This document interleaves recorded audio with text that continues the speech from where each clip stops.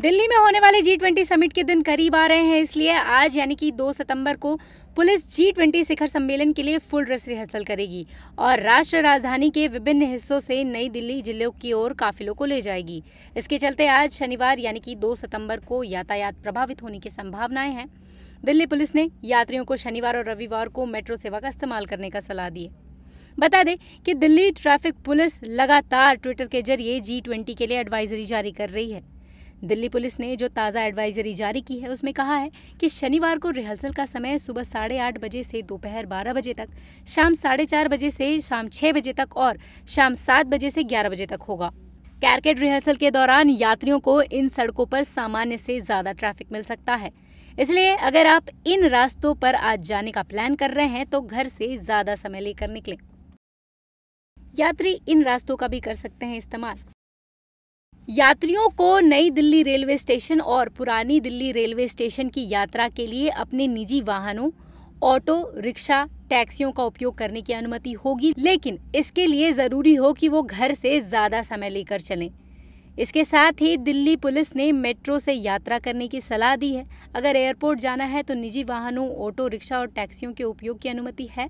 लेकिन इसके लिए भी आप समय ज़्यादा लेकर चलें और मेट्रो से यात्रा को प्राथमिकता दें। रिहर्सल के चलते सिटी बस सेवाएँ बड़े पैमाने पर प्रभावित नहीं होंगी। हालाँकि, नई दिल्ली इलाके में कुछ बसों को अलग अलग सड़कों पर डाइवर्ट किया जा सकता है।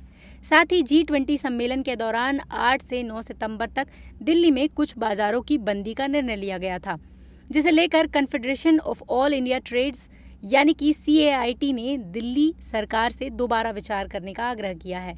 सी ने इस बारे में केंद्रीय वाणिज्य मंत्री पीयूष गोयल और विदेश मंत्री एस जयशंकर को भी पत्र लिखा है।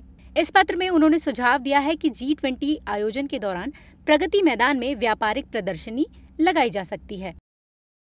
समिट के दौरान दिल्ली में सख्त सुरक्षा इंतज़ाम के प्रोटोकॉल से सहमति जताते हुए सीएआईटी ने दिल्ली सरकार से आग्रह किया कि दिल्ली में कुछ हिस्सों में बाजारों और अन्य व्यावसायिक गतिविधियों को बंद करने के फैसले पर दोबारा विचार किया जाए। सीआईटी ने अपील की है कि कहीं इस निर्णय से पूरे विश्व में कोई नकारात्मक संदेश न जाए, इस बिंदु पर भी विचार किया जाना चाहिए। सीआईटी ने केंद्रीय वाणिज्य मंत्री पीयूष गोयल और विदेश मंत्री एस जयशंकर को जो पत्र लिखा है, उसमें यही सुझाव दिया है, जिससे देश में कई राज्यों के विशिष्ट प्रमुख उत्पादनों को प्रदर्शनी किया जा सके। इससे विदेश से आने वाले लोगों को पिछले नौ वर्षों में प्रधानमंत्री नरेंद्र मोदी के दूरदर्शी आत्मनिर्भर भारत तथा मेड इन इंडिया के तहत व्यापार एवं अर्थव्यवस्था में हुई प्रगति से रूबरू कराया जा सके। इससे मेहमानों को विभिन्न प्रकार के भारतीय उत्पादों के बारे में भी बताया जा सकेगा।